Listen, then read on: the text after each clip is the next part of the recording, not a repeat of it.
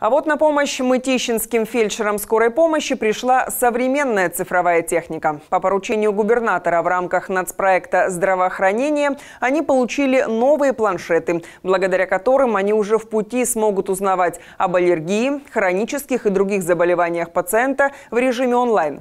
Как освоили новые гаджеты мытищинские медики и изменилась ли ситуация с заболеваемостью COVID-19 в нашем следующем материале.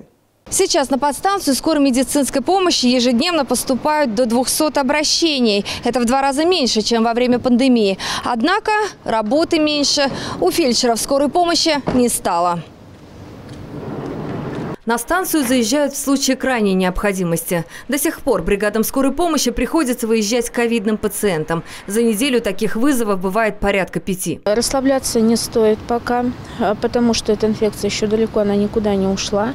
А, нужно соблюдать меры предосторожности, чтобы сберечь, как говорится, и себя, и свою семью, также маленьких детей. Это избегать скопления огромного количества людей. А также, э, мое мнение, также нужно избегать все поездки, которые касаются как э, вопроса о заграничных поездках, так и все равно и по России, потому что это все равно это опасно. А везде, как мы знаем, данный вирус распространяется и с водой.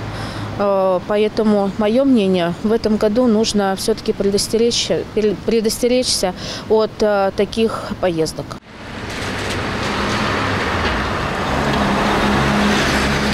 Она сейчас находится где больная?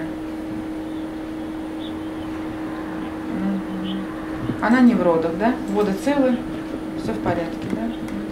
В диспетчерской звонки не замолкают, обращений много. Пациентов с различными диагнозами пока еще приходится госпитализировать в больнице других округов. Только теперь работать стало легче. В рамках национального проекта здравоохранения по поручению губернатора под станциям скорой медицинской помощи выделили планшеты. Теперь информация всем 15 бригадам передается в режиме онлайн. Мы теперь не диктуем адресы, телефон информация не искажается. Они сразу его получают, э, видят всю информацию на планшете, на экране, и адрес, и телефон, все данные пациента. По рации передавали, и по телефону передавали. Связь не всегда хорошая где-то вообще отсутствует связь. Старший врач смены Кристина Руленкова за новые технологии. Экономится время, а значит и скорая приедет к пациентам гораздо быстрее. И как старшему врачу очень удобно на компьютере, потому что это единая система. Я открываю, что-то там смотрю, там все, закрываем карту. Также бригада может поставить себе госпитализацию, также может актив в поликлинику сформировать самостоятельно. А, жизнь облегчилась планшетами. Кроме того, благодаря планшетам можно отслеживать геолокацию бригады и время доезда до пациентов. Одни плюсы. И медики быстро к ним привыкли. Всего в Подмосковье было выделено 700 таких гаджетов. Кроме того, согласно президентскому указу о предоставлении дополнительных гарантий, 35 мытищинских медиков получили страховые выплаты за перенесенный COVID-19 в результате лечения пациентов с коронавирусом. Денежные средства, около 69 тысяч рублей, перечисляются на банковскую карту или расчетный счет работника. В ближайшее время страховые выплаты получат еще 15 медицинских работников. Их документы сейчас находятся на рассмотрении.